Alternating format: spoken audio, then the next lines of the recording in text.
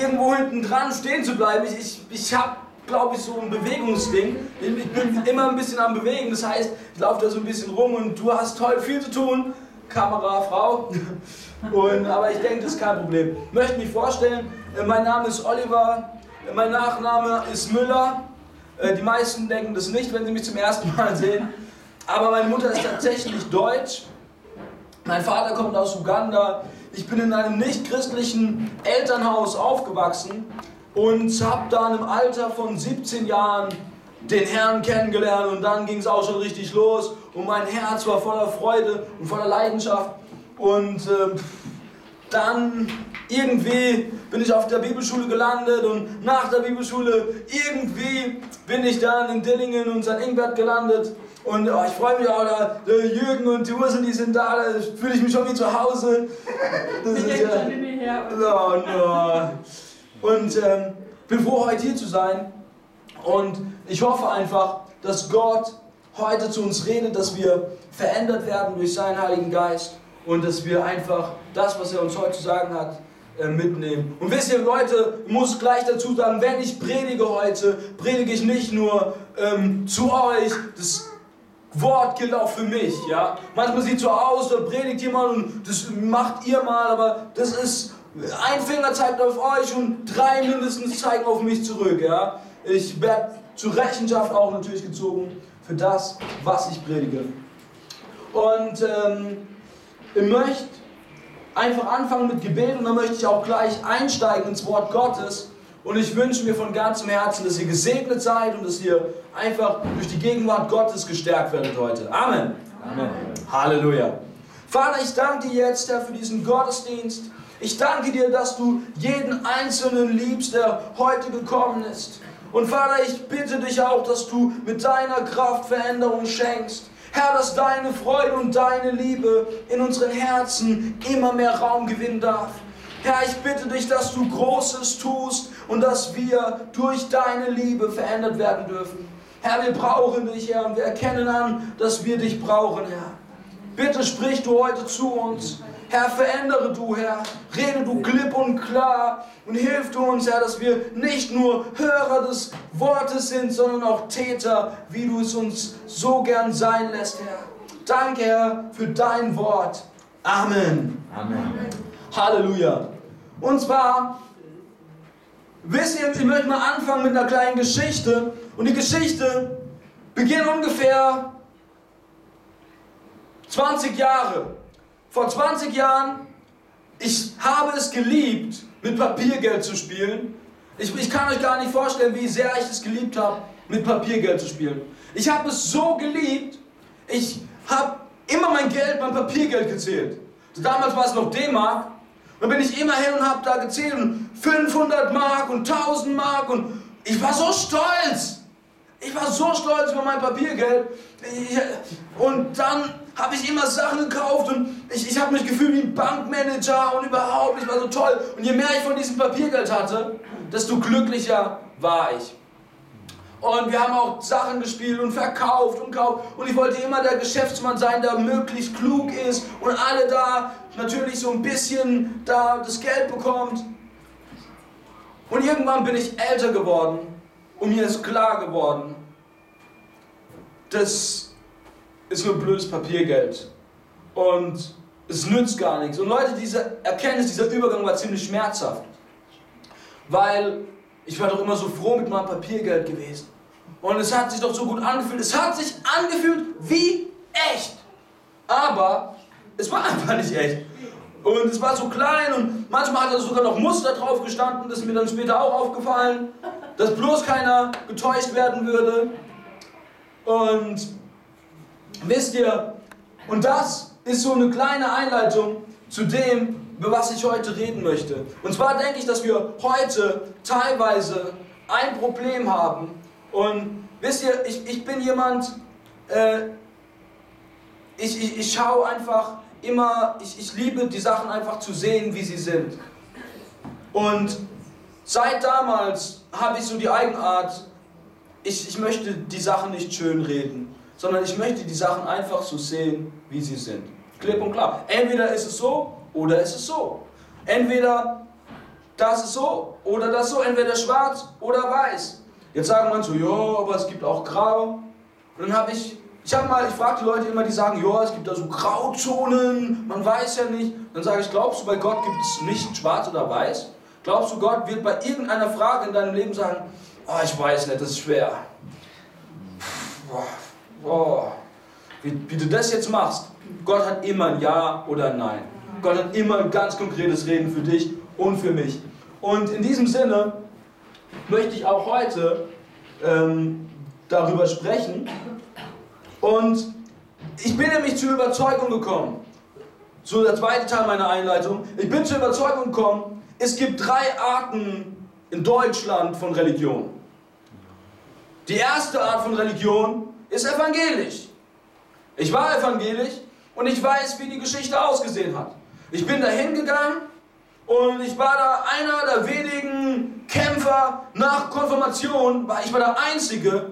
Die waren total begeistert. Wow, mein Junge ist da. Aber das Problem ist, die haben nicht gemerkt, dass, dass da irgendwas gefehlt hat. Das war Religion und es konnte mich nicht halten.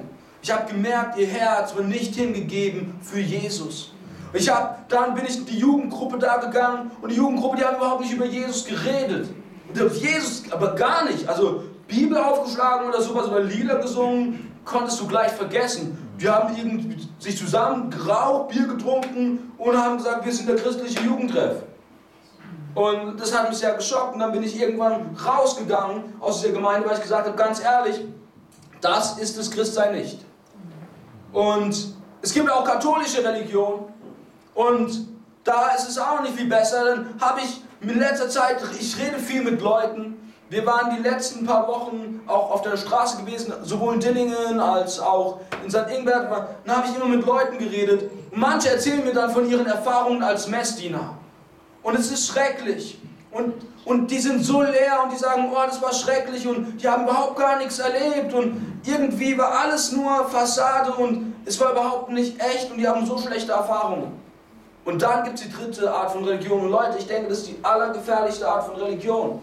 Und das ist die Religion, die stattfinden kann, wenn wir in einer Gemeinde sind, wo freie Christen sind, wenn wir freie Christen sind. Wir können nämlich auch religiös werden. Boah, das tut weh! Wie kannst du sowas sagen? Wir sind doch nicht wie die Katholiken, wir sind doch nicht wie die Evangelischen. Leute, was ist der Unterschied? Der Unterschied zwischen Religion und zwischen Echten ist nicht das Äußerliche, sondern immer das, was im Herzen von den Menschen ist. Immer das, was im Herzen von Menschen ist, das macht einen Unterschied aus.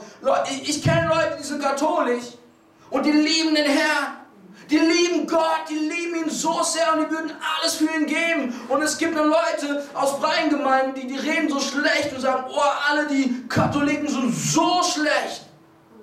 Stimmt nicht. Es gibt Leute, einer auf der Bibelschule, ich habe gehört, der, der jemals am besten gepredigt hat, im Gottesdienst auf der Bibelschule, war ein Katholik.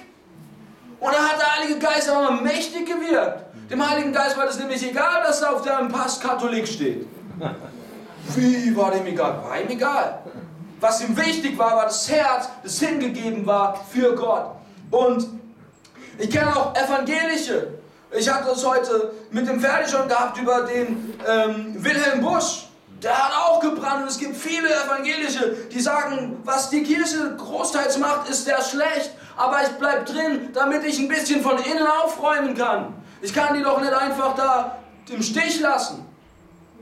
Und es gibt aber freikirchliche Leute, die sind gleichgültig geworden gegenüber Gott und gegenüber seinem Wort. Und Wisst ihr, ich kenne dann vielleicht diese Begriffe, die man sonst nicht kennt. Bekehrt, Wiedergeburt, getauft im Heiligen Geist. Aber die Frage ist, wo in meinem Leben findet es tatsächlich statt? Und ich möchte uns heute da mitnehmen und ich möchte nämlich nicht, dass wir religiös werden. Das ist nämlich für mich das Allerallerschlimmste. Ähm, Religion, die letztendlich zu nichts führt. Und ich möchte euch heute vorlesen. Oh, da fertig, da hast mir aber ein, ein dickes Buch. Oh, fertig, ich glaube schon mir doch diese Schlachter, die da. Da ist so eine kleine Schlachter. Weil da, ist es, da fällt mir alles raus. Der hat, da ist nämlich einiges drin. Kann, ich, kann, kann ich heute den ganzen Tag predigen mit den Notizen, die da drin sind. Geld. Ja.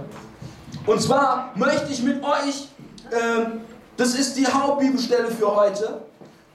Und zwar fängt es an im 1. Korinther 4 ab Vers 17. Und ich möchte euch so ein bisschen da vorlesen. Und dann möchte ich euch auch über den Hintergrund aufklären, der damals da stattgefunden hat. Und es heißt da wie folgt. Deshalb habe ich Timotheus zu euch gesandt, der mein geliebtes und treues Kind im Herrn ist. Der wird euch an meine Wege in Christus erinnern, wie ich überall in jeder Gemeinde lehre. Weil ich aber nicht selbst zu euch komme, haben sich etliche aufgebläht. Ich werde aber bald zu euch kommen, wenn der Herr will, und nicht die Worte der Aufgeblähten kennenlernen, sondern die Kraft. Denn das Reich Gottes besteht nicht in Worten, sondern in Kraft.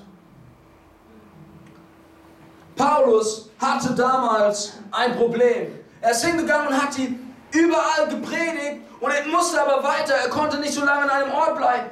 Und es ist dann damals immer irgendetwas passiert und zwar sind da Leute gekommen und die haben ganz schön viel geredet und die haben ganz viele Wege vorgeschlagen.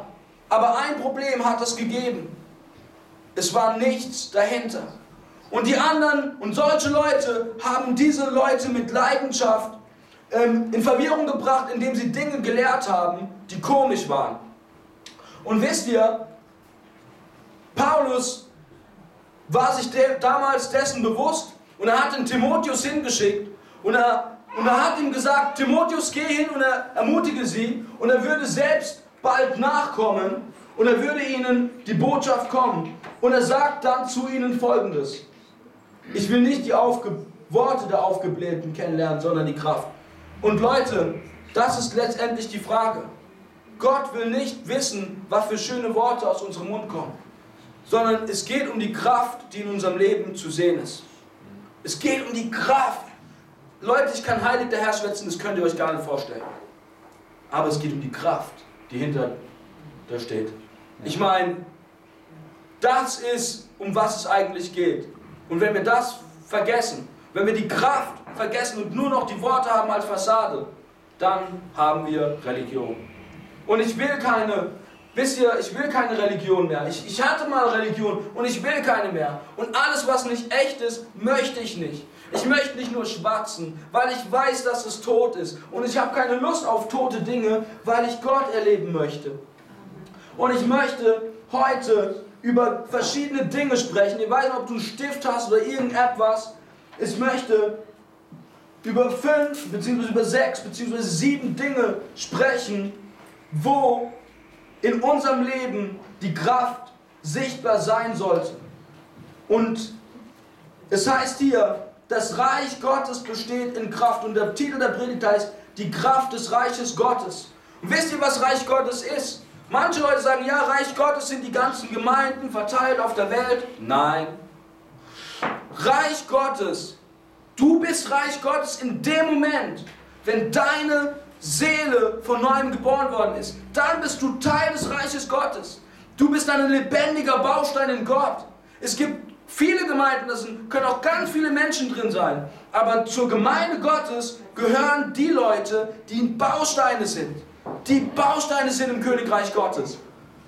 Und ich möchte natürlich dazugehören. Und wenn wir sagen, wir bauen Reich Gottes, dann heißt es, wir bringen Menschen zu Jesus Christus. Wir bringen Menschen in eine Beziehung zu Gott, sodass sie Gott von ganzem Herzen lieben. Dann habe ich Reich Gottes gebaut.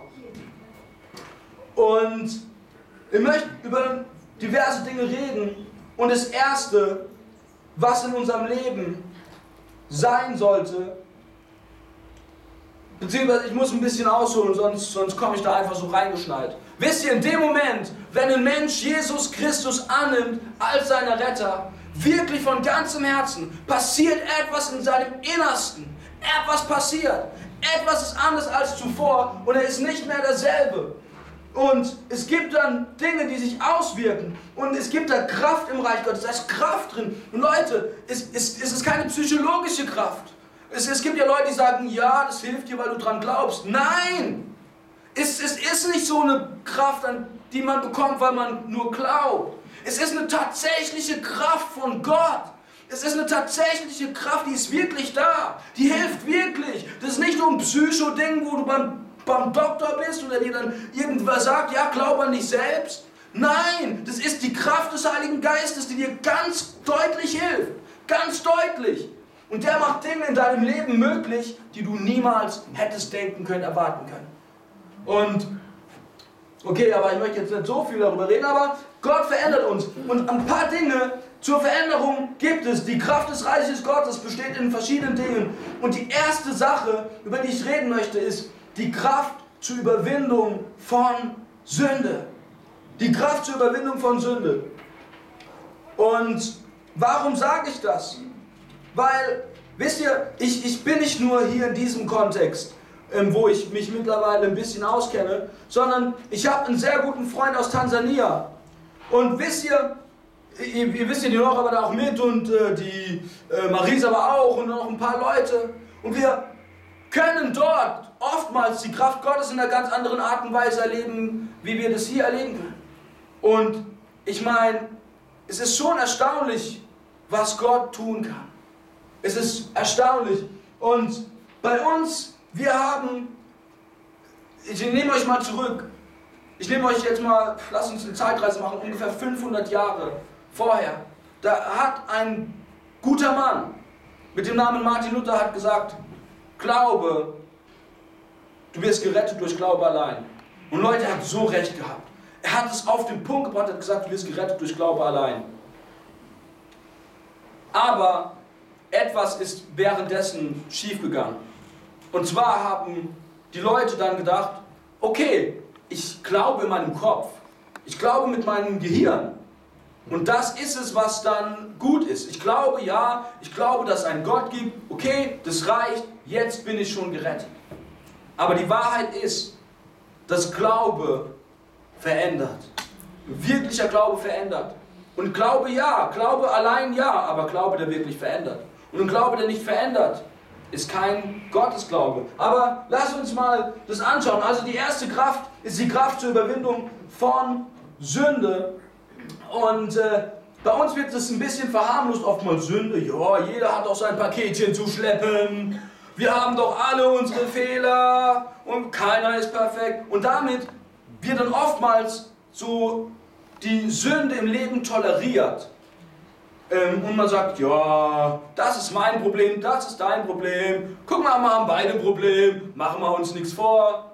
Aber die Wahrheit ist, dass Gott in unserem Leben Freisetzung schenken möchte von Sünde. Das ist sein Ziel. Jesus ist nicht gekommen, ähm, um zu sagen, okay Leute, habt eine gute Botschaft für euch. Ihr, ich, ich möchte euch retten und danach macht einfach weiter wie vorher. Ciao Leute, war gut, ich habe euch alle gerettet. Sondern er hat gesagt, ich werde euch verändern. Und ich werde euch verändern durch die Kraft des Heiligen Geistes. Und er wird in euch hineinkommen. Und er wird etwas anderes machen. Und es das heißt auch, der Heilige Geist wird mit Feuer taufen. Wisst ihr, was bedeutet? Wisst ihr, was passiert, wenn Feuer über etwas hinweg weht? Es verbrennt alles. Das macht alles kaputt. Und der Heilige Geist kommt und der will alles kaputt machen, was an Bösen in unserem Leben ist. Der kommt und sagt, ich will alles kaputt machen. Schlechtigkeit, ich mach's kaputt. Dinge, die in deinem Herzen falsch sind, ich mach's kaputt. Gebundenheit, ich mach's kaputt. Ich mach das alles kaputt, die Werke vom Feind. Und er stellt uns dadurch wieder her. Und es heißt im 1. Johannes, es heißt im 1. Johannes 3, Vers 6, oh, jetzt werde ich euch gleich schocken. Wer in ihm bleibt, der sündigt nicht. Wer sündigt, der hat ihn nicht gesehen und nicht erkannt. Wer in ihm bleibt, der sündigt nicht. Wer sündigt, der hat ihn nicht gesehen und nicht erkannt. Jetzt sagen manche, oh, oh, oh, was heißt denn das? Was meint er? Wer sündigt? Und wenn ich jetzt einmal sündige, dann habe ich ihn nicht erkannt oder wie sieht es aus? Aber was die Bibel sagt an dieser Stelle ist was anderes. Die Bibel spricht davon, dass es unmöglich ist, in einem Zustand der Sünde zu leben als Christ. Du kannst es gar nicht. Ich muss euch aus meinem eigenen Leben erzählen. Wenn ihr glaubt, ich wäre perfekt, dann könnt ihr euch aber definitiv irgendwo petzen, weil das ist eine Irrvorstellung. Und wenn ich irgendetwas falsch mache, dann kommt der Heilige Geist aber sowas von in mein Leben und sagt, ich mach's kaputt. Und er kommt und er, er will es kaputt machen, was ich falsch gemacht habe. Er will diese Dinge, er will sie zerstören und ich habe keinen Frieden in meinem Leben. Ich bin nicht zufrieden. Meine Freude ist weg. Ich hab, ich, es ist alles bescheuert und ich habe keine Lust mehr. Ich will, will gar nichts mehr machen. Ich muss es rausbekommen. Und wenn ich doch weitermache, dann entferne ich mich von Gott. Wer in ihm bleibt, sündigt nicht. Im Griechischen steht da folgendes. Wer in ihm bleibt, der sündigt nicht fortwährend. Fortwährend, nicht einmal, sondern fortwährend. Der lebt nicht in einem Zustand des Falschen, der Sünde. Der lebt nicht da drin.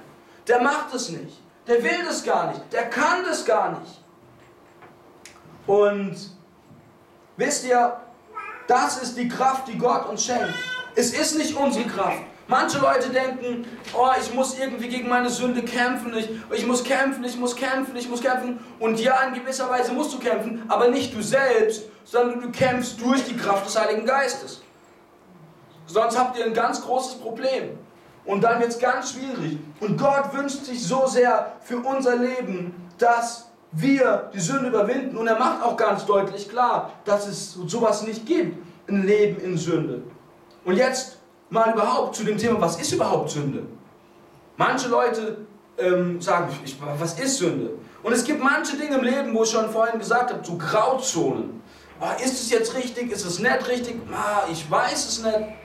Aber wisst ihr, was am meisten, ich mag den griechischen Urtext, weil da haben die Worte manchmal noch eine andere Bedeutung. Und das Wort für Sünde im Griechischen bedeutet Hamatia. Und Hamatia bedeutet Zielverfehlung. Die haben damals mit einem Bogen geschossen und haben vorbeigeschossen und haben sie gesagt, oh, Zielverfehlung, Sünde, du hast, es, du hast vorbeigeschossen. Und wenn ihr euch fragt, was Sünde ist, dann müsst ihr einfach die umgekehrte Frage stellen. Ist das, was ich tue, Gottes Ziel für mein Leben? Ja oder nein? Bei den Sachen, wo ihr denkt, ah, ist es gut, ist es nicht gut? Ist es Gottes Ziel für dein Leben? Ja oder nein? Und wenn es nicht Gottes Ziel für dein Leben ist, dann ist es nicht gut. Dann ist es Sünde. Das heißt auch, was ihr nicht im Glauben tun könnt, das ist Sünde. Und wisst ihr, Gott möchte, dass wir diese Kraft bekommen. Und diese Kraft ist da in ihm. Und manche sagen, okay, Oliver, aber ja, Gott ist doch gnädig und, und er liebt uns so und überhaupt, er möchte uns ja absolut immer vergeben. Und ich, ey, ich bin da voll dabei. Gott möchte uns so gern vergeben. Und er liebt es, uns zu vergeben. Aber ich möchte euch mal Römer 2, 4 bis 6 vorlesen. Das sagt nämlich der Paulus zu, der Paulus, genau, der Paulus zu diesem Thema. Er sagt, verachtest du den Reichtum seiner Güte, Geduld und Langmut und erkennst nicht, dass dich Gottes Güte zur Buße leitet? Also die Tatsache, dass Jesus uns erliebt, sollte uns zur Umkehr leiten. Und dann heißt es hier ganz hart, aber aufgrund deiner Verstocktheit und deines unbußfertigen Herzens häufst du dir selbst Zorn auf den Tag des Zorns und der Offenbarung des gerechten Gerichtes Gottes, der jeden vergelten wird nach seinen Werken. Oh Leute, wenn wir das hören, dann können, kommen wir alle ins Schwitzen. Dann denken wir, das ist das ist richtig hart. Und Jesus möchte uns wirklich davon, davor, dafür ermutigen, dass wir Sünde ablegen. Wenn der Heilige Geist zu uns spricht, das ist falsch, tu das nicht. Wenn du es erkennst in deinem Leben, dann sag, okay, ich höre auf damit. Wenn du ein Wort Gottes liest und, es, und du bekommst es und es wird dir klar, es ist nicht gut, lass es sein. Vertrau auf Gott. Und er wird dir auch da helfen. Wenn du mit etwas zu kämpfen hast, höre nicht auf zu kämpfen, ähm, sondern kämpfe gegen das Schlechte an, aber in der Kraft des Heiligen Geistes. Aber wie wir zu Wege kommen, sage ich noch am Schluss. Auf jeden Fall, da ist Kraft da im Reich Gottes, dass wir die Sünde überwinden. Die zweite Sache, ist es nicht nur Kraft da, die Sünde zu überwinden, sondern es ist auch Kraft da zur Überwindung von Weltlichkeit. Was meinst du, Oliver, mit Weltlichkeit? Was, was meinst du damit? Und ich möchte einmal von Jakobus 4, Vers 4 vorlesen. Da heißt es, ihr Ehebrecher und Ehebrecherinnen, wisst ihr nicht, dass Freundschaft mit der Welt Feindschaft gegen Gott ist. Wer also ein Freund der Welt sein will, der macht sich zum Feind Gottes. Und in 1. Johannes 2, Vers 15 steht dazu auch was ganz Interessantes. Da steht nämlich folgendes. Ähm, Habt nicht die Welt lieb, noch was in der Welt ist. Wenn jemand die Welt lieb hat, so ist die Liebe des Vaters nicht in ihm. Das ist die, der zweite Hammer. Die Bibel lehrt uns, dass es Kraft gibt zur Überwindung von Weltlichkeit. Ich, ein, ein Vers muss ich noch vorlesen, weil der ist so schön. Ähm, den gibt uns auch der Apostel Paulus in Römer 12, Vers 2. Da sagt er nämlich folgendes: Und passt euch nicht diesem Weltlauf an, sondern lasst euch in eurem Wesen verwandeln durch die Erneuerung eures Sinnes, damit ihr prüfen könnt, was der gute und wohlgefällige und vollkommene Wille Gottes ist. Gott hat ein Ziel für unser Leben. Er möchte, dass wir nicht weltlich sind. Was bedeutet es, weltlich zu sein? Was bedeutet es, die Welt zu lieben? Wisst ihr, ich, ich bin der festen Überzeugung, dass wir oftmals diese Welt lieben und es gar nicht merken. Weil es ist sehr schwer. Wer definiert, was ist weltlich und was ist nicht weltlich? Ich meine, ist, wenn ich ein Auto fahre, ist es weltlich. Ein Auto ist ja, ist, ist, ist ja von dieser Welt. Wenn ich etwas esse, ist Essen weltlich. Ich muss noch was essen. Was ist weltlich und was ist nicht weltlich? Aber was wichtig ist, was wir verstehen dürfen und verstehen müssen, ist, dass Weltlichkeit etwas ist, das uns von Gott wegbringt. Es ist ein falsches Verständnis von Gott und was er für uns hat. Beispielsweise ist es weltliche Moral. Viele Christen haben eine weltliche Moralvorstellung bekommen, was ist gut, was ist richtig. Und sie schauen danach, was die Welt sagt, was richtig und was falsch ist. Sie, wenn die Welt sagt, ist es okay, hm, dann kann ich es auch tun. Und es gibt so viele Dinge, der, die, die uns in eine Sache führen, die uns ablenken kann. Ganz ehrlich, wenn ich euch fragen würde, wer von euch wäre gern beim Herrn jetzt? So richtig gern beim Herrn. Oh, Nathalie, Halleluja! Spitze! Aber die meisten Leute, die sagen folgendes: Oh, also ich will mein Leben noch leben, ich will noch diese Erfahrung machen, ich will noch jenes machen, ich will noch den Spaß haben, ich will noch dorthin gehen, ich will noch das und jenes und hier und dort. Und die Wahrheit ist, der Apostel Paulus hat Folgendes gesagt, als er auf der Erde war. Er hat gesagt, ich wünschte, ich wünschte, ich wäre bei Gott. Aber ich bin noch hier, damit ich, den, damit ich dienen kann, damit ich den Brüdern und den Schwestern auf dieser Welt dienen kann, damit ich ein Segen sein kann. Und Leute, wir müssen uns immer überlegen, warum wollen wir auf der Welt sein? Sind wir so wie Paulus, dass wir sagen, ich möchte hier auf der Welt sein, weil ich den anderen dienen möchte? Oder sagen wir, ich möchte auf der Welt sein, ich möchte noch diesen Spaß haben, ich möchte noch das haben, ich möchte noch jenes haben und noch das und noch dies. Und ähm, es ist furchtbare Verweltlichung ähm, eingetreten. Und diese Verweltlichung, die hält uns davon ab, Gott von ganzem Herzen zu lieben. Wisst ihr, heute haben wir, es ist einfacher für uns, zwei Stunden vom Fernseher zu sitzen, als zwei Stunden auf den Knien vor Gott. Es ist einfacher für uns, äh, auch das Ganze, das Ganze zu verlegen, vielleicht in, in ein Kino oder sowas, als vielleicht das Geld anstatt dessen wegzugeben an die Arche und dafür zu beten, dass Gott wirklich Erweckung schenkt in unserem Land. Und Weltlichkeit kann uns so ablenken von dem, was Gott tun möchte. Heißt es, ich darf überhaupt gar keinen Spaß mehr haben? Heißt es, wie die Puritaner, ich muss jetzt immer schwarz rumlaufen und wehe, irgendjemand macht irgendetwas und lacht, dann muss ich ihn streng angucken? Nein, das bedeutet es nicht. Aber es bedeutet, dass dein Herz nicht an Sachen hängt, die schlecht sind. Wisst ihr, es gibt so viele Dinge, es, ich meine, es gibt ganz viele Einzelfälle, ähm, wo, man, wo man darüber reden kann, ob es gut ist oder ob es schlecht ist. Aber die Wahrheit ist, dass wir uns immer hinterfragen müssen, warum tue ich, was ich tue? Tue ich es für Gott oder tue ich es einfach für mich? Unsere Gesellschaft ist so egoistisch geworden und dreht sich so um uns selbst. Und wisst ihr was? Die Welt braucht uns. Ob ihr es glaubt oder nicht. Die Welt braucht uns. Die Welt braucht dich, wenn du Jesus Christus von Herzen liebst. Sie braucht dich. Deine Nachbarn brauchen dich. Deine Freunde brauchen dich.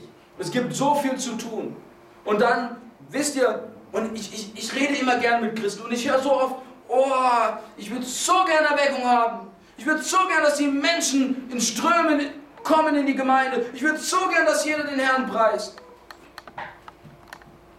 Und dann heißt es, ah, ich weiß nicht, der Herr wird irgendwann seine Zeit haben. Wisst ihr, wann der Herr seine Zeit hat? Wenn sein Volk sein Angesicht von ganzem Herzen sucht und wirklich ihn als erste Priorität setzt, dann wird er wirklich uns Veränderung schenken. Und das ist, was wir brauchen. Und Anders werden wir es nicht schaffen. Ich, ich, ich lese sehr gerne und wenn immer ich Menschen lese, die nicht aus unserem Kontext kommen, aus dem Westen hier, alle, was sie sagen im Westen, sie sagen, im Westen habt ihr zu viel Ablenkung. Im Westen, ihr verbringt gar keine Zeit mehr im Gebet. Im Westen verschwendet ihr euer Geld. Im Westen, ihr, ihr, ihr, ihr wisst gar nicht, was bedeutet Gemeinde. Und dann erzählen sie, wo ich herkomme. Ha, da müssen wir Psalm 119 auswendig lernen, damit wir überhaupt eine Bibel bekommen. Wo ich herkomme, da haben wir nicht mal eine ganze Bibel teilweise, sondern wir teilen uns die Bibelstückchen zu. Du hattest Markus eine Woche lang. Jetzt will ich ihn lesen. Wow, bei uns würde ich sagen, kannst behalten oder sowas. Brauche ich eh nicht. Gib's mir nächstes Jahr irgendwann wieder. Aber wisst ihr, was ich meine? Überwindung von Weltlichkeit. Da ist Kraft in Gott. Und es geht einfach dann, diese Kraft bewirkt nämlich, dass ich gar kein Interesse habe. Die, diese Kraft bewirkt, dass ich da hocke und denke, bescheuert. Bescheuerte Geschichte, bescheuertes, bescheuerte Story, wenn ich irgendwie meine Zeit verschwende, vielleicht vom Fernseher. Ich denke, ich sehe viel. Bei mir ist es mittlerweile so, es ist schrecklich. Ich kann nicht mehr in Ruhe gucken irgendwas, weil der Heilige Geist macht mich auch, weil ich, ich will ja alles mit dem Heiligen Geist tun. Wenn du mit dem Heiligen Geist Fernsehen guckst, dann wirst du aber ganz schnell depressiv. Und es geht nämlich dann so ungefähr. Sünde, der hat gerade gesündigt. Du weißt schon, Oliver, dass er gerade seine die Ehe gebrochen hat? Ah ja, stimmt. Und er wird gut dargestellt? Mhm, stimmt. Und er nimmt gerade Drogen und es wird als gut dargestellt. Und er braucht sie ja und er ist so fertig. Und die betrügt die und das da. Und da ist der, hat diese homosexuelle Neigung und das wird auch gut dargestellt. Und jeder soll ja frei sein und alles. Und irgendwann denkst du dann, oh, Heiliger Geist, ich habe verstanden. Ich habe keine Lust mehr. Und die, viele Leute denken, wisst ihr, ähm, ich meine, ich war auch auf der Bibelschule, war ich einer derjenigen, der die Leute ermutigt hat und gesagt, Leute, es ist schön, dass ihr alle auf der Bibelschule seid, aber es ist auch schön, wenn wir unsere Zeit nicht im Kaminzimmer vom, vom, vom, vom Fernseher verbringen am Samstag, sondern wenn wir in Deutschland für Erweckung beten. Aber es ist natürlich, es geht viel schneller, den Fernseher anzumachen. Es geht viel schneller. Einmal drauf gedrückt, bam, wird spannend. Und Tom Cruise oder keine Ahnung wer da fetzt da mit seinem Auto entlang und du denkst, yeah! Und unser menschliches Fleisch liebt es total. Und wenn ihr glaubt, Hollywood weiß nicht, was es tut, dann habt ihr es nicht geschnallt. Die hocken Psychologen dahin, die gucken, wie mache ich das am besten. Die kriegen dich. Die haben Fleischspezialisten, mhm. wahre Metzger, für, für eure Seele. Die, die gucken, wie sie dich dran kriegen und dann, dass du es interessant findest und dass du süchtig danach wirst. Lauter solche Dinge. Ist, und ich, ich mache nie etwas nicht aus Prinzip, so, so nach dem Motto, ich mache es einfach nicht so, weil es keinen Grund gibt. Sondern, wisst ihr, ich, ich, ich finde Gesetzlichkeit sehr schlimm. Und ich möchte Dinge tun, wenn sie der Heilige Geist offenbart.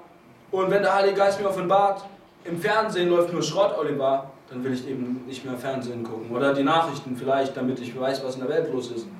Und das ist ähm, die Sache. Die Überwindung von Weltlichkeit. Da gibt es noch ganz andere Sachen. Ähm, ihr müsst gucken, wo ihr vielleicht in eurem Leben Weltlichkeit habt. Aber das spielt gar keine Rolle, weil wenn die Kraft da ist, dann wird die Weltlichkeit verschwinden. Irgendwann sagt ihr, mir ist alles egal. Mir ist es egal. Ich brauche das ganze Zeug gar nicht mehr weil ich möchte Gott und ich möchte seine Gegenwart. Okay, ich muss weiterkommen. Ja. Ähm, die dritte Sache ist die Kraft zur bedingungslosen Hingabe. Und ich möchte hier vorlesen, und oh, haltet euch fest, wenn ihr gedacht habt, es war hart, jetzt wird es hart. Lukas 14, ähm, ab Vers 5 und, ab 26 möchte ich mal. Da sagt Jesus folgendes. Wenn jemand zu mir kommt, Achtung, und hasst nicht seinen Vater und seine Mutter, seine Frau und Kinder, Brüder und Schwestern, dazu aber auch sein eigenes Leben, so kann er nicht mein Jünger sein. Und wer nicht sein Kreuz trägt und mit mir nachkommt, der kann nicht mein Jünger sein. Und dann möchte ich noch vorlesen in 1433, so kann auch keiner von euch mein Jünger sein, der nicht allem entsagt, was er hat. Und jetzt sagen Leute, okay, ich habe ja immer Jesus ganz gut gefunden, aber jetzt mag ich ihn auf einmal nicht mehr. Warum sagt er mir, ich soll meine Mutter hassen? Der, der hat sie doch vielleicht nicht mehr so richtig. Wie kann er das sagen? Aber Jesus meint nicht, dass ich meine Mutter hassen soll mit einem Hass, wie die Welt hasst, sondern es ist eine andere Form. Und ich möchte eine Geschichte erzählen. Letzte Woche hatte ich die schon erzählt in Dillingen. Das ist eine Geschichte, die mich sehr angerührt hat. Da war einmal ein indischer Mann. Und dieser indische Mann war der einzige Christ mit seiner Familie in diesem Dorf. Und dann sind sie hingegangen und haben gesagt, weißt du was? Wir möchten, dass du abschwörst von deinem Glauben. Und er hat gesagt, nein, das werde ich nicht tun. Und es war dann so eine Zeit und sie haben ihn gedrängt und er hat gesagt, nein. Und dann war es der Tag, wo sie ihm gesagt haben, okay, äh, folgende Möglichkeit, entweder Du schwörst deinem Glauben ab oder wir bringen deine Kinder um. Und die haben ihn genommen und seine Kinder und seine Frau und gesagt, entweder du schwörst ab oder wir bringen deine Kinder um. Und er hat überlegt, was er sagen soll. Und dann hat er angefangen, dieses Lied zu singen. Ich weiß nicht, ob ihr das kennt. Ich habe es letzte Woche schon angesungen. Jetzt werde ich aufgezeichnet. Jetzt weiß ich nicht, ob ich es ansingen soll. Aber ähm, wisst ihr, er hat gesagt, ich weiß nicht, wer kann von euch ein bisschen Englisch? Oh Herr, wir sind im Saarland. Ich bin entschieden zu folgen. Genau. Ja, aber auf Englisch hört es einfach besser an. Er hat gesungen, I have decided to follow Jesus. I have decided to follow Jesus. I have decided to follow Jesus. No turning back, no turning back. Was er damit sagen wollte, war, ich habe mich entschieden, Jesus nachzufolgen und ich werde garantiert jetzt nicht zurückschrecken. Und dann haben sie seine Kinder umgebracht. Und dann haben wir gesagt, okay, wir haben deine Kinder umgebracht, du hast nur eine Chance. Deine Frau. Wenn du jetzt nicht, dann werden wir auch deine Frau umbringen. Und dann hat er ähm, weiter gesungen. Und er hat gesungen, wenn, auch wenn keiner mit, die Welt liegt, das Kreuz liegt, nein, was hat er gesungen? Ah nein, auch wenn keiner mit mir geht, so will ich ihm folgen. So no one's with me, I will follow. Auch wenn keiner mit mir geht, ich will folgen. Ich, ich, ich ziehe es durch. Und sie haben seine Frauen gebracht. Und dann am Schluss haben sie gesagt, okay, äh, jetzt hast du noch eine, ähm, eine Möglichkeit. Dann hat er den dritten Teil von diesem Lied gesungen, hat gesagt, das Kreuz vor mir, die Welt liegt hinter mir. Und dann ist er auch gestorben. Und dann ging es aber weiter. Das ist eine traurige Geschichte. Aber Leute, der wusste, an was er glaubt. Der wusste, wen er liebt. Und hätte euch irgendjemand gesehen, diesen Mann, einer aus der Welt, der hätte gesagt, der spinnt doch. Der hasst doch seine, wie kann das zulassen, dass seine Familie umbracht? Der hasst doch seine Familie. Nein, nein. Es geht nicht darum zu hassen. Aber manchmal ist die Liebe, die man zu Gott hat, so stark, dass es für andere aussieht, als ob man seine eigene Familie nicht lieben würde, weil man so viel aufgibt. Aber die Wahrheit ist, dass er gewusst hat, wem er nachfolgt und er hat seinen Glauben konsequent zu Ende gelebt. Und wisst ihr, wir haben alle so Angst oftmals vor dem Tod, aber der Tod ist nicht unser Feind. Der Tod ist nicht unser Feind, Leute. Unser Feind ist die Sünde, die uns wegbringt von Gott. Dann wird nämlich der Tod ein wirkliches Problem. Wenn wir nicht mit Jesus verbunden sind. Und wisst ihr, bedingungslose Hingabe die Bereitschaft zu sagen, Jesus, mein ganzes Ich gehört dir. Alles, was mich ausmacht, gehört dir. Alles. Dir gehört alles und ich möchte dir alles geben. Und wisst ihr, da ist die Kraft da im Heiligen Geist. Und diese Kraft gibt es nur im Heiligen Geist. Und als Paulus zu diesen Leuten gesagt hat, ich will mal gucken, was das für Leute sind, dann wollte er auch wissen, ob das Leute sind, die bereit sind, für Christus zu sterben. Die bereit sind, alles hinzugeben für Jesus Christus, der sich selbst für uns hingegeben hat. Und eine andere Geschichte, die ist auch sehr schön, wenn als zwei junge Christen sich selbst in die Sklaverei verkauft haben, weil sie gehört haben, dass auf der Insel, wo sie hinkommen würden, noch nie jemand das Evangelium gehört hat. Und der Besitzer dieser Insel, der würde nicht zulassen, dass ein Prediger kommt. Also haben sich die zwei jungen Menschen sind hingegangen und haben gesagt, ich möchte mich selbst verkaufen, die Sklaverei. Und mit dem Geld, das sie bekommen haben für, ihre eigene, für ihr eigenes Leben, haben sie ihre Überfahrt bezahlt. Das war ein One-Way-Ticket, das ging nicht mehr zurück.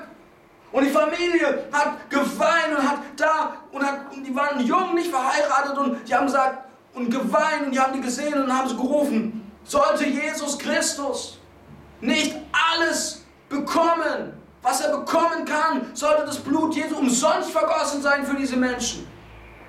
Und sie haben sich von ganzem Herzen freiwillig hingegeben, um dort zu dienen.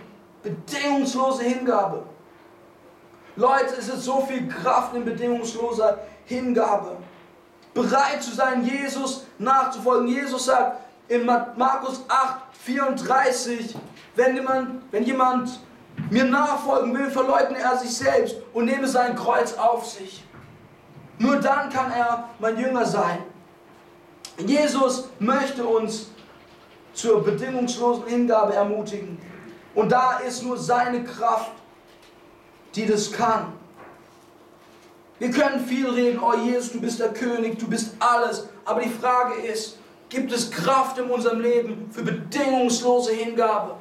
Wenn Gott zu uns spricht, dass wir sagen, ich möchte es tun, ich möchte es umsetzen, ich möchte es in Wahrheit sehen. Die vierte Sache, die Kraft eines vorbildlichen Lebensstils.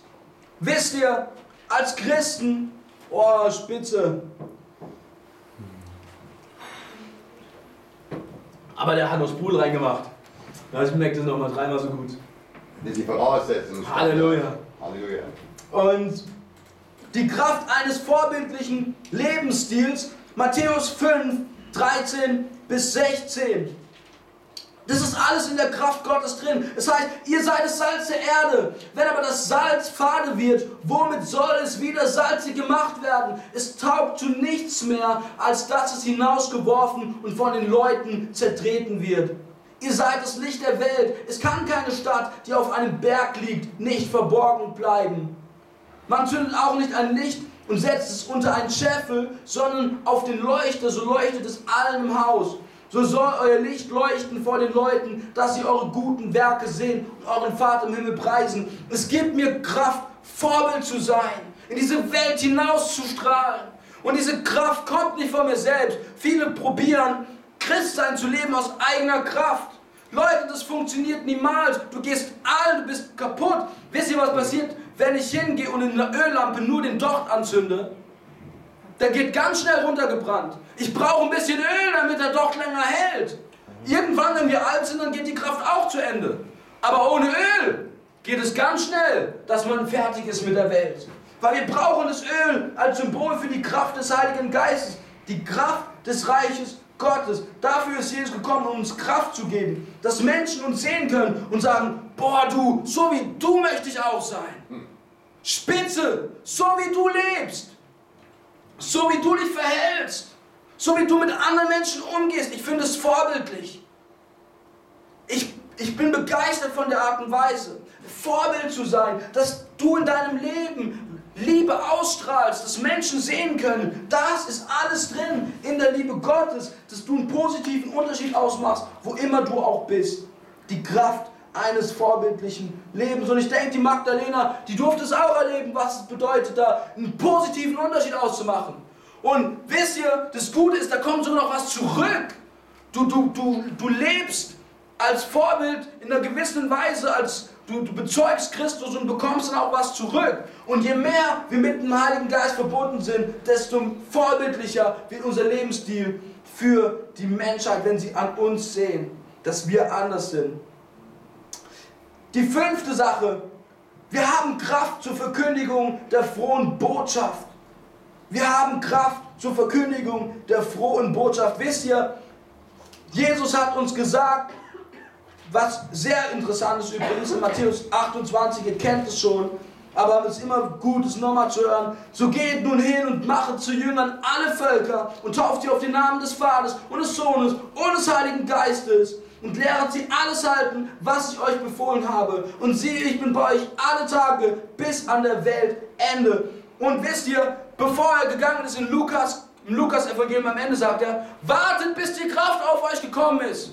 Weil er hat ganz genau gewusst, ohne Kraft geht da eh nichts bei euch. Und wir brauchen die Kraft des Heiligen Geistes, um Menschen zu erreichen für Christus. Wir erreichen manchmal ein paar, aber wir brauchen richtig Kraft, um viele Menschen zu erreichen für Jesus. Wir brauchen Kraft. Und diese Kraft kommt aus einer Freude dem Heiligen Geist. Am Mittwoch, ich habe es schon gestern erzählt, hatten wir einen super Gebetsabend und wir hatten schöne Zeit und der Heilige Geist war da. Und dann bin ich rausgegangen und dann bin ich so gelaufen und ich habe gepfiffen und gesungen und die Leute haben mich angeguckt und haben gedacht, was ist mit dem los? Und wisst ihr, ich habe mich auch nicht geschämt, weil mein Herz war voll. Und der Heilige Geist nimmt uns den Charme. Der Heilige Geist nimmt uns den Charme und wir fühlen uns nicht mehr wie der größte Depp.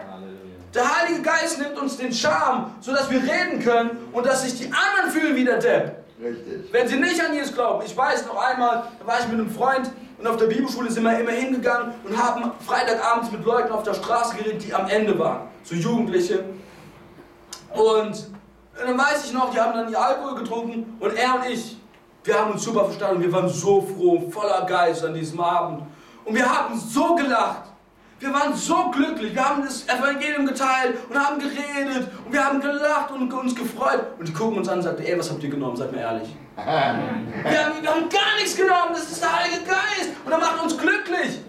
Und, und, und, und die haben gesehen, dass wir so froh waren. Die haben gesagt, ey, das ist doch verrückt. Warum seid ihr so glücklich? Weil da ist Kraft zur Verkündigung des Heiligen Geistes. Es macht Spaß, Jesus zu verkündigen, wenn die Kraft da ist. Ohne Kraft kein Saft. Und dann macht es auch keinen Spaß. Wir brauchen die Kraft. Wir brauchen die Kraft. Ich brauche die Kraft. Du brauchst die Kraft. Wir brauchen die Kraft. Amen. Halleluja. Gut. Und dann die sechste Sache. Die Kraft einer übernatürlichen Beziehung zu Gott. Die Kraft einer übernatürlichen Beziehung zu Gott. Die meisten Menschen im Westen, die ich kenne, haben nur eine natürliche Beziehung zu Gott. Sie vertrauen Gott, wenn das Auto mal kaputt ist. Oh Herr, es geht vielleicht auch so, dass irgendwie was zustande kommt. Aber es gibt eine übernatürliche Beziehung zu Gott. Eine übernatürliche. Das ist eine Beziehung, die ist nicht normal. Die ist nicht einfach so, die ist richtig genial. Und es wisst ihr, die meisten, mit denen ich rede, wenn ich sage, hey, wie findest du das? Und dann rede ich so, und ich hatte es mal mit einem Bibelschüler, und dann haben wir gesagt, ey, oh, morgens, wenn wir so beten und die Kraft Gottes ist da und die Gegenwart Gottes füllt dich auf und du bist glücklich und du spürst einfach Gegenwart Gottes und denkst, ich möchte hier nie mehr weg. Und du redest da und ich habe mit ihm geredet und er sagt, oh ja, und wir haben dann drüber geredet. Und dann hat er gemeint, ey du, die meisten Leute, mit denen ich rede, die verstehen gar nicht, wovon ich rede, die gucken mich nur komisch an, wenn ich das sage. Weil die meisten Menschen oftmals nur eine natürliche Beziehung haben. Es ist nur irgendwie im Kopf, aber diese Lebendigkeit im Heiligen Geist, diese Beziehung, diese Liebe, diese Seelenmassage, dass dein Herz berührt wird. Wisst ihr, ich mag ja Gemeinde und ihr seid alle liebe Menschen. Und ich sehe euch ziemlich gerne, vor allem wenn ihr Jesus nachfolgt. Aber ich brauche den Heiligen Geist und diese übernatürliche Beziehung zu ihm, die meine Seele durchdringt, die mein Herz verändert, die auf eine tiefe Art und Weise mich ganz umstellt. Und übernatürliche Beziehung führt auch zu übernatürlichen Dingen. Wenn es dann heißt, letztendlich, und da dürfen wir in Deutschland noch eine ganze Menge, eine ganze Schippe drauflegen. Wenn es heißt, die Zeichen aber werden die begleiten, die gläubig geworden sind. In meinem Namen werden sie Dämonen austreiben, sie werden in neuen Sprachen reden, Schlangen werden sie aufheben und wenn sie etwas Tödliches trinken, wird es ihnen nicht schaden. Kranken werden, sich die Hände, werden sie die Hände auflegen und sie werden sich wohlbefinden. Das ist nicht nur einfach eine nette Märchengeschichte, dass Jesus gesagt hat, so wenn ihr euren Kindern was erzählt für gute Nacht, dann erzählt ihnen auch noch sowas. Das ist die Realität im Heiligen Geist. Das ist die Realität im Heiligen Geist. Und wir brauchen wieder mehr von diesem Übernatürlichen in unserem Leben. Amen. Wir brauchen mehr. Und wisst ihr, warum ich das an den Schluss gesetzt habe? Ganz einfach deswegen, weil es ein Resultat ist aus unserer Beziehung zu Gott. Viele sagen, ja, yeah, ich will das Übernatürliche. Vergiss das Übernatürliche erstmal, folge Jesus. Folge Jesus. Ich brauche, Leute, ich möchte, dass Übernatürliches geschieht und dass ich mit ihm in einer übernatürlichen Verbindung zusammen bin. Ich möchte Kraft bekommen natürlich, aber Wunder zu sehen, Dinge zu sehen. Ich habe Wunder gesehen und ich habe gedacht, toll, schön. Aber meine Gebetszeit hat mir besser gefallen, wenn ich die Gegenwart Gottes spüre. Wunder machen dich nicht glücklich. Die Gegenwart Gottes in deinem Leben macht dich glücklich. Und die kommt, wenn die Kraft des Reiches Gottes in deinem Leben aktiv ist. Und das Letzte ist, das hat mir Gott während dem Lobpreis noch offenbart. Ähm, das hatte ich gar nicht aufgeschrieben. Aber Herr hat einfach zu mir gesprochen und gesagt, Olli, ich möchte auch, dass du das auch noch machst. Die Kraft zum veränderten Sein im Allgemeinen. Und es heißt in Galater 5, 22, die Frucht des Geistes aber ist Liebe, Freude, Friede, Langmut, Freundlichkeit, Güte, Treue, Sanftmut, Selbstbeherrschung. Lauter Dinge, die in deinem Herzen da sind. Ich möchte keine traurigen Christen sehen. Der Heilige Geist hat so viel für uns geplant. Der möchte so viel für uns. Und er hat geplant, dass wir verändert sind. Und wir können Frieden haben in Jesus Christus. Und er möchte das, dass unser Wesen von ganzem Herzen verändert ist. Und er möchte es für dich. Und es ist Freude da und es ist Kraft. Und, und Gott ist nicht irgendwie. Es heißt, wen der Sohn des Höchsten frei gemacht hat, der ist. Der ist vielleicht frei. Der ist wirklich frei. Der ist wirklich frei und Gott möchte Freisetzung schenken, dass wir Freude haben. Und wir werden Freude haben. Ich beneide manchmal die Leute, die dann im Gefängnis sitzen in China und die dann sagen, das ist die schönste Zeit, die ich je in meinem Leben verbracht habe. Und Leute gucken und denken, ihr seid doch vollkommen übergeschnappt.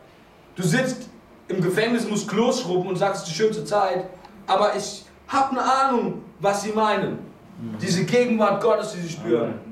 Ich sitze lieber mit der Gegenwart Gottes und putze ein Klo, als im größten Luxushotel ohne die Gegenwart Gottes. Amen. Es geht nicht um meine Umstände, sondern es geht um mein Innenleben. Was ich, wenn mein Innenleben so eine Toilette ist und es außenrum schön, dann ist es bescheuert. Aber wenn mein Innenraum, mein Innenleben so ein tolles Hotel ist und außen ist halt, was ist wichtiger? Es geht um das, was drin ist, weil so fühlst du dich auch. Gut, ich wiederhole noch mal ganz kurz die Überpunkte. Die Kraft zur Überwindung von Sünde, die Kraft zur Überwindung von Weltlichkeit, die Kraft zur bedingungslosen Hingabe, die Kraft eines vorbildlichen Lebensstils, die Kraft zur Verkündigung der frohen Botschaft, die Kraft einer übernatürlichen Beziehung zu Gott und die Kraft ähm, ein, eines veränderten Seins. Und jetzt sagt er, ey, ich möchte diese Kraft, ich möchte wirklich das leben. Und Leute, das ist, was Paulus gemeint hat, als er gesagt hat, ich will mal gucken, was da los ist mit denen. Denn das Reich Gottes besteht in Kraft und nicht in Worten. Amen. Worte sind gleichgültig für das Königreich Gottes. Es geht um die Kraft, die dahinter steht. Und so zeichnet sich die Kraft im Leben eines Christen aus. Wie kommst du an diese Kraft? Wie kommst du an diese Kraft? Leute, ihr müsst euch entscheiden. Ihr müsst, es fängt immer an mit einer Entscheidung. Und diese Entscheidung lautet, ich möchte mich absolut mit all meinem Sein, mit all meinem Sein Christus zur Verfügung stellen, mit allem, was ich bin. Ich möchte nichts mehr zurückhalten, nichts mehr. Und wenn er morgen sagt, ich soll nach Timbuktu, dann gehe ich auch nach Timbuktu. Ich möchte ihm absolut nachfolgen. Je mehr von unserem eigenen Ego in unserem Leben wohnt, desto weniger Platz hat der Heilige Geist. So einfach ist die Geschichte. Je mehr Ego drin ist, dann ist halt nur so viel Platz für den Heiligen Geist. Und du fragst dich, warum du nur so glücklich bist. Weil der, der Heilige Geist hat eben nur so viel Platz. Und dann machst du ihm Platz und gibst und sagst, ich möchte dir nachfolgen. Auf einmal merkst du, wie mehr und mehr Füllung reinkommt. In dem Moment, wenn du dich füllen lässt, kann, auch mehr Platz, wenn du bereit bist, von deinem Ich wegzukommen. Dafür musst du dich entscheiden. Und wisst ihr, wenn ich richtig stark sein will, dann muss ich was essen. Und ich gebe euch so eine, so eine leichte Eselsbrücke. Wenn ich stark sein will, ich muss was essen. Gibst mir gutes Brot und gibst mir Wasser, damit ich zu Kräften komme. Und die Bibel hat auch ein Brot für uns. Sie hat das Wort Gottes. Und Jesus, als er versucht wird, ähm, sagt zum, zum Satan ganz klar, der Mensch lebt nicht vom Brot allein, sondern von jedem Mund, das aus dem Wort, äh, das aus, von jedem Wort, das aus dem Mund Gottes kommt. Und in diesem Sinne ist das Wort Gottes unser geistliches Brot. Ich brauche Brot. Wenn ich kein Brot habe, dann, dann klappt es nicht. Und ich brauche Wasser. Ich brauche Wasser. Und das Wasser ist der Heilige Geist. Okay. Ich, ich, jetzt machen wir interaktiv. Marisa, ich habe ein Stück Brot und ich bin hungrig. Was muss ich tun? Essen. Ich habe die Bibel und ich bin hier. Was muss ich tun? Lesen. Richtig. Ich esse. Ich nehme es auf in mich. Gut. Ähm, Ulrike, wir gehen weiter. Ich habe eine Flasche Wasser vor mir stehen und ich stehe hier. Was muss ich tun, wenn ich Durst habe? Ganz genau. Ich der Heilige Geist ist da. Ich, ich bin auch da. Er lebt zwar in mir, aber da ist noch mehr von ihm, was in unserem Leben sich offenbaren kann. Und was muss ich tun?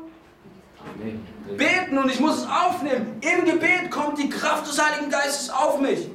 Ich, wisst ihr, manchmal fange ich an zu beten und ich fange an zu beten und am Anfang fühlt es sich an, als ob das eine Decke geht und mit gleicher Wucht wieder zurückprallt. Boing.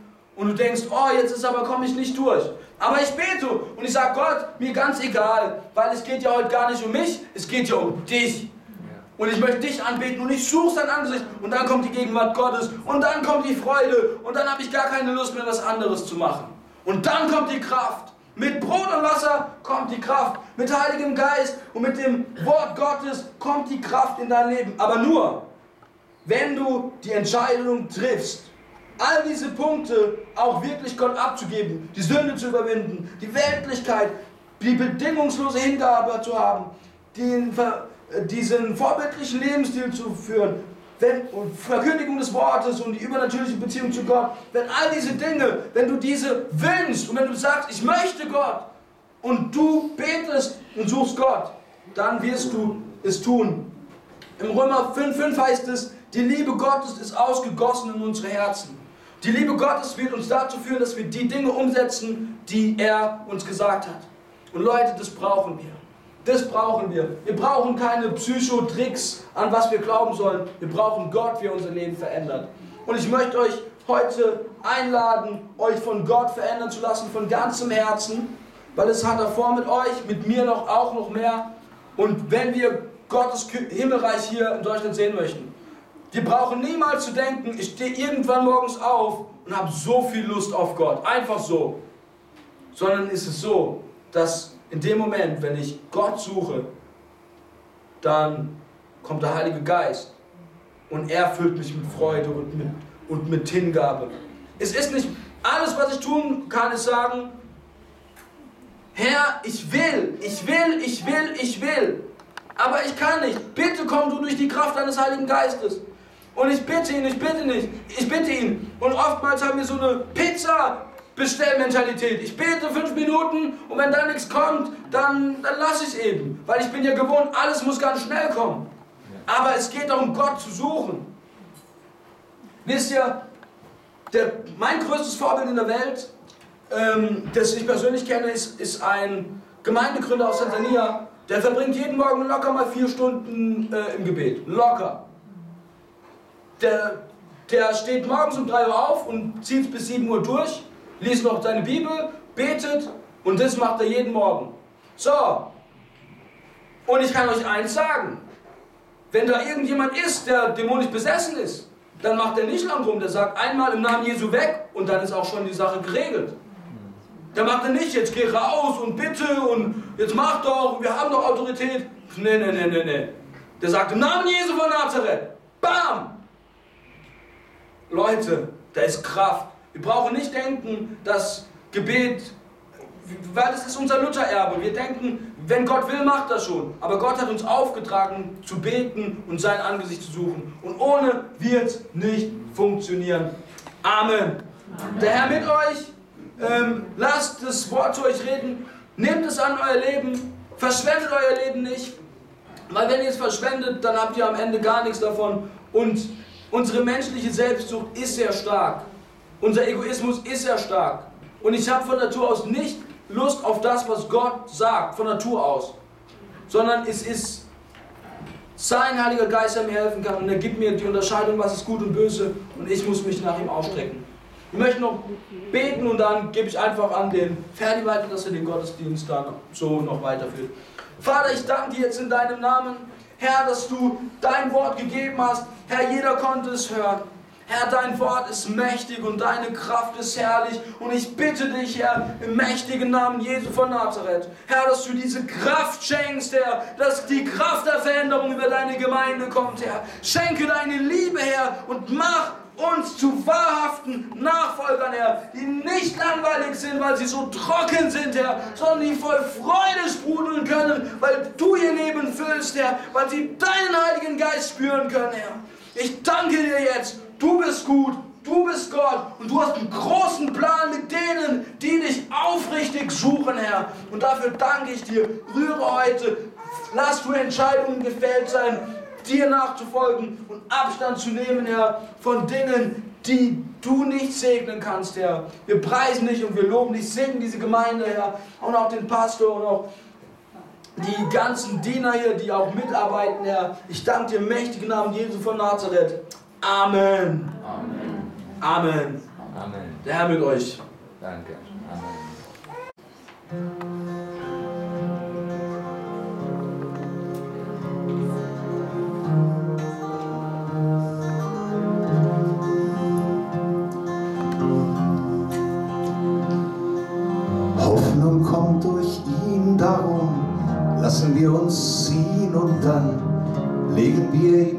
Unser Leben hin. Er führt uns auf der Bahn, ganz nach Gottes Plan. Liebevoll und treu weist er den Weg. Öffnet uns die Tür und er lässt uns Liebe spüren, darum unser Lob gebührt nur ihm allein. Er hört unser Flehen, lässt uns aufrecht gehen. Seine Gnade trägt uns alle Zeit. Durch die Kraft seines Blutes hat er uns befreit. Seine Herrschaft, sein Reich, das besteht alle Zeit in dem Glanz seines Lichts auf dem Weg hin zu ihm Lasst uns gehen und erkennen das einzige Ziel. Hoffnung kommt durch ihn darum, lassen wir uns ziehen und dann legen wir ihm unser Leben hin. Er führt uns auf der Bahn, ganz nach Gottes Plan. Liebevoll und treu weist er den Weg öffnet uns die Tür und er lässt uns Liebe spüren, darum unser Lob gebührt nur ihm allein. Er hört unser Flehen, lässt uns aufrecht gehen, seine Gnade trägt uns alle Zeit. Durch die Kraft seines Blutes hat er uns befreit, seine Herrschaft, sein Reich, das besteht alle Zeit in dem Glanz seines Lichts, auf dem Weg hin zu ihm. Lasst uns gehen und erkennen das einzige Ziel. Hoffnung kommt durch ihn, darum lassen wir uns ziehen und dann legen Leben hin er führt uns auf der Bahn, ganz nach Gottes Plan. Liebevoll und treu weist er den Weg. öffnet uns die Tür und er lässt uns Liebe spüren. Darum unser Lob gebührt nur ihm allein. Er hört unser Flehen, lässt uns aufrecht gehen. Seine Gnade trägt uns alle Zeit. Durch die Kraft seines Blutes hat er uns befreit. Seine Herrschaft, sein Reich, das besteht alle Zeit in dem Glanz seines Lichts auf dem Weg hin zu ihm. Lass uns gehen und erkennen das einzige Ziel. Durch die Kraft seines Blutes hat er uns befreit. Seine Herrschaft, sein Reich, das besteht alle Zeit in dem Glanz seines Lichts auf dem Weg hin zu ihm. Lass uns gehen und erkennen das einzige Ziel.